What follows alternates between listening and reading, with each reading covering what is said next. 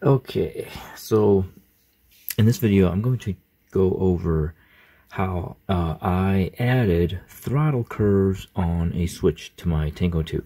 And um, I'm doing this on my Tango 2 because this is my one and only, my first ever and my only ever uh, OpenTX type radio. And I say type radio because I know that this uh, Tango 2 runs Freedom TX, which is supposed to be a fork of OpenTX, and I say supposed to be because I am not familiar with OpenTX, so I can't even compare.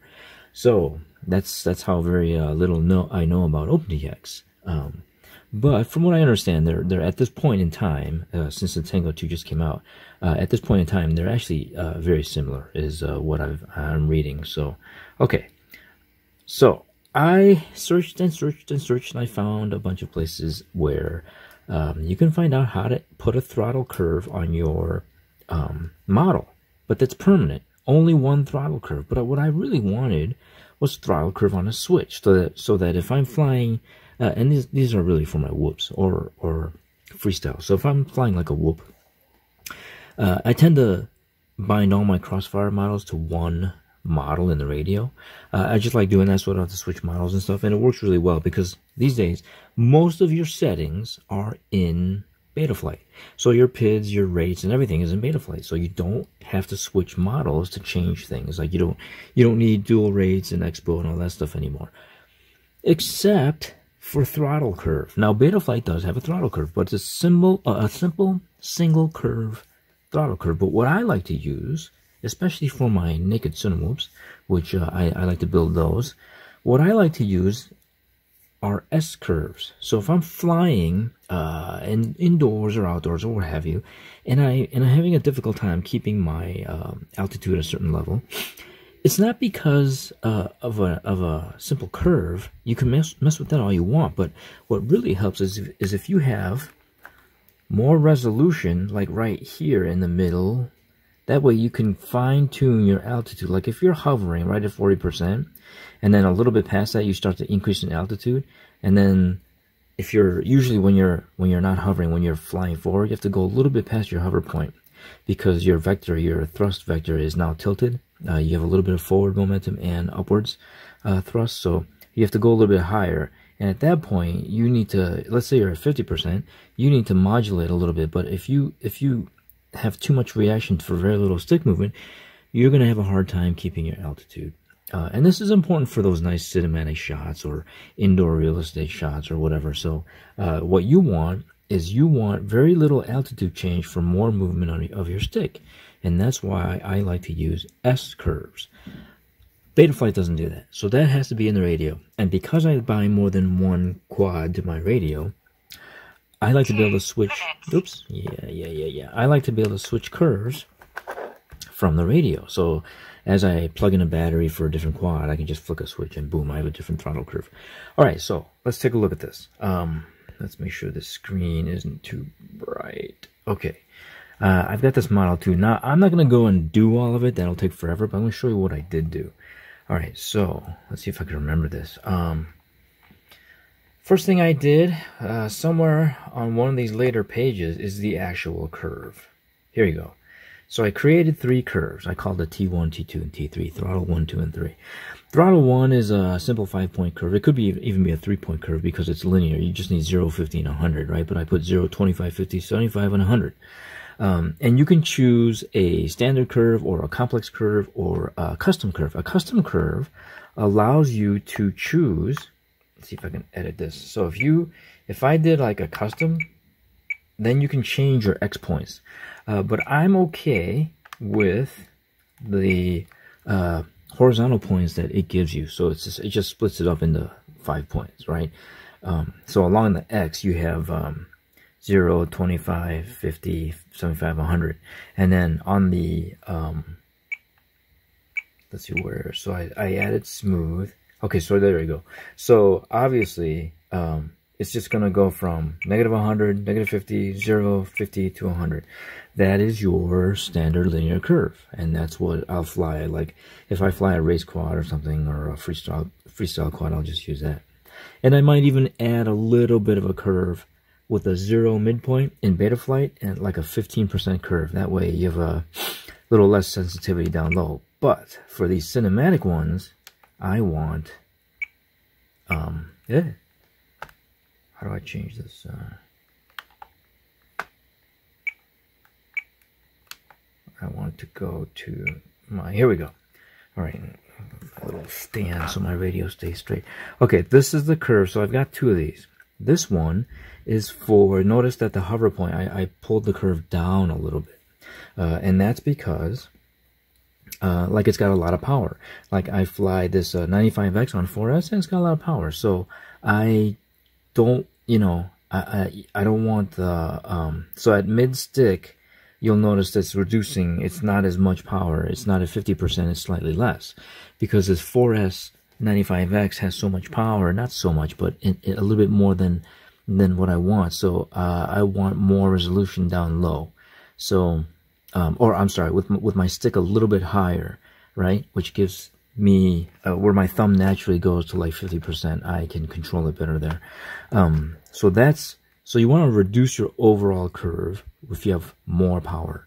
If you have less power, like this one, like I fly an 85X, and it's a little bit weak, so I want it to output more than where my stick actually is. So at 50% where my stick would be, you'll notice that the output is actually a little bit higher than 50%.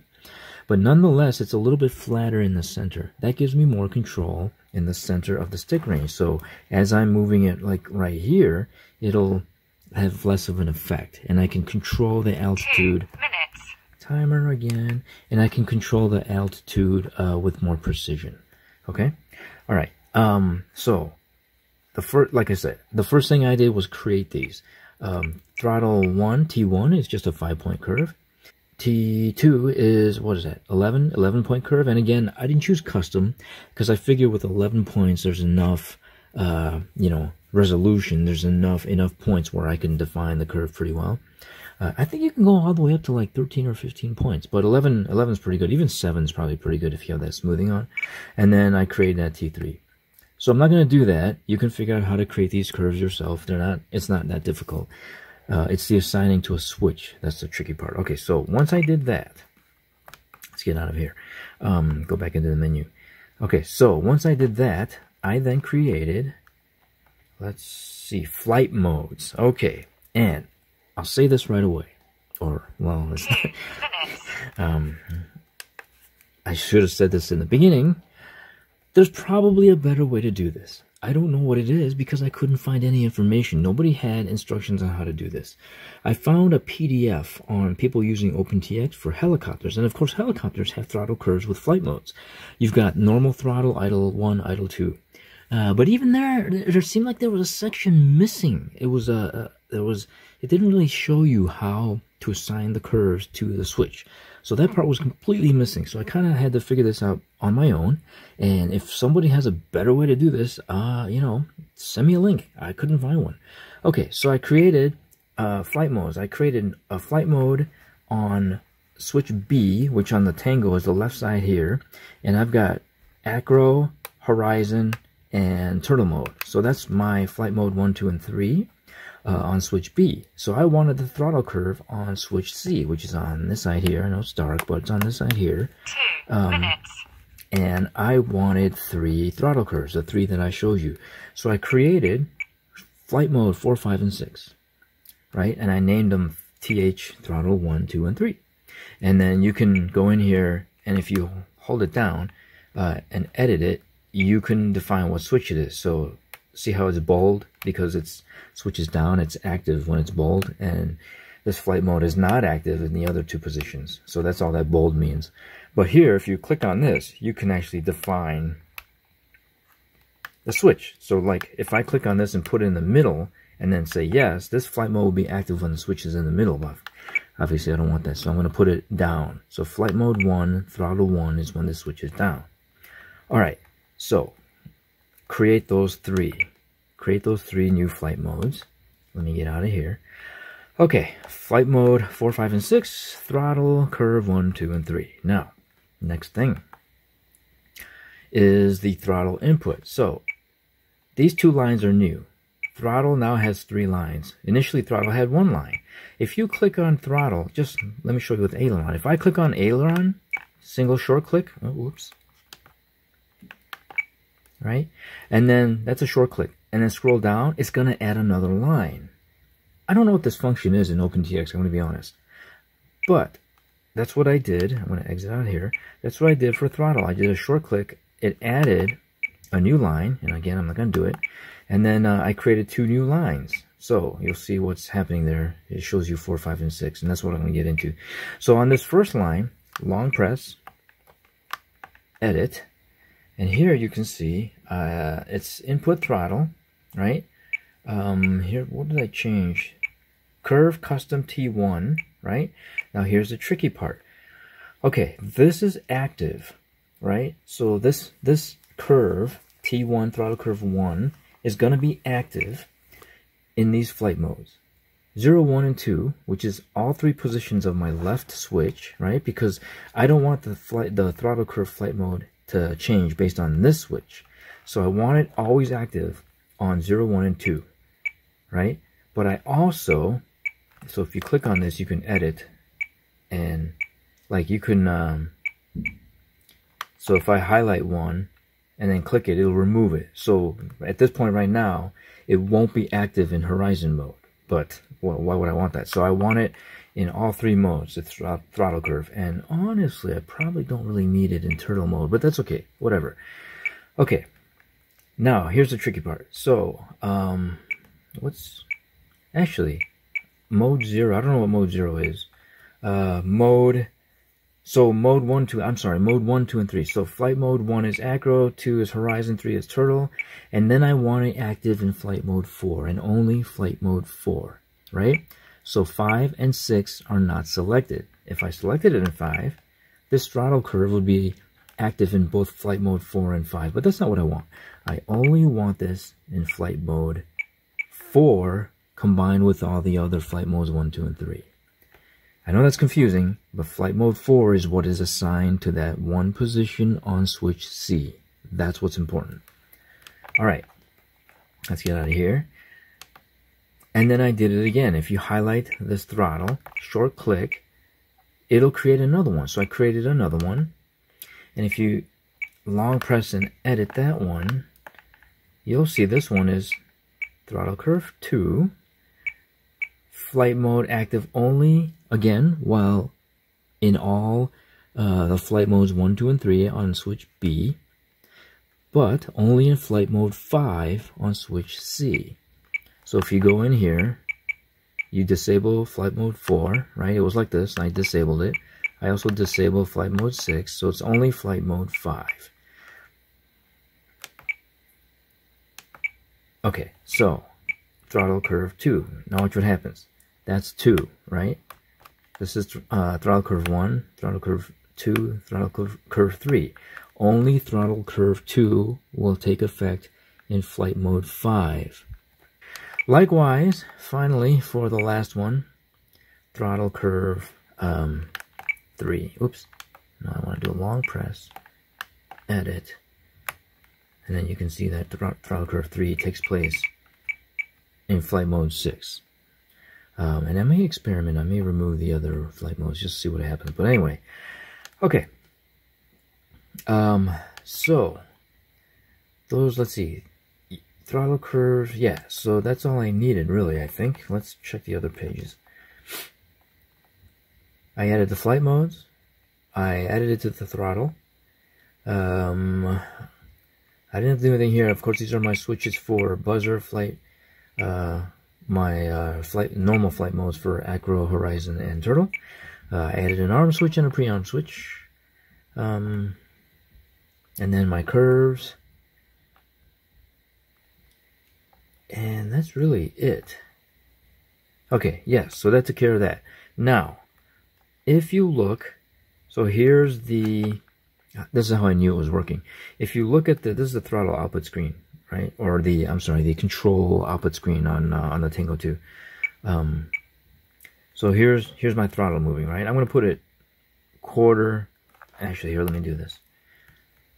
Uh, this is at quarter stick. All right, flight mode one, we know that quarter stick, the output is 25%. It's linear. 25% sticks, 25% throttle. Now if I go to flight mode 1, that one was lower, so the output should be lower. What was higher? Throttle 3 was higher. Oh yeah. Oh. Oh, that's right. so I just forgot myself. So it's not lower because I didn't just lower the whole curve. I made it an S curve. So it's going to be higher at the 25%. And then in uh, throttle curve uh, uh, 3, it's going to be even higher. Okay, now here's the trick. Back to throttle curve 1. Put it at mid stick. 50% will be 50% output. Two minutes. Now, throttle curve one, uh, 2 will be lower. And there it is, there's lower. Throttle curve 3 should be higher because I raised the whole curve. And there it goes, it's a little bit higher. So, you can see the effects right there, and I know it's working. Uh, plus, I feel it when I fly it. When I flick the switch, I can totally, you know, I gain and lose altitude as I go through the throttle curve. So, okay, so that's basically it. So that's how I know it works. All right, let's review just to make sure. Um, okay, first thing I did, I go into the curves page, create my three throttle curves. Okay, linear, uh, 95x, 85x gives me more control hovering or flying uh, same altitude. Alright, I did that. And then I went into the flight modes. Created three new flight modes. Throttle 1, throttle 2, throttle 3, uh, 3 and assigned them to the switch positions. Uh, you can see that this one says SC down, switch C down, switch C flat, uh, in the middle, switch C up. Alright, assign those. And then I went into my throttle and added three new throttle, I don't know what these, three new throttle inputs, I guess, um, but assign them to flight modes corresponding to the uh, throttle curves. So flight mode, you can see it flashing. Switch C down, flight mode 4. Switch C in the middle, flight mode 5. Switch C up, flight mode 6. And, those get assigned to the throttle curve 1, 2, and 3. And that's how it gets switched with the throttle curve. Okay, so that is it. And again, I'll say it one more time. There might be a better way to do this. I had to figure this out on my own. It took me like almost three hours.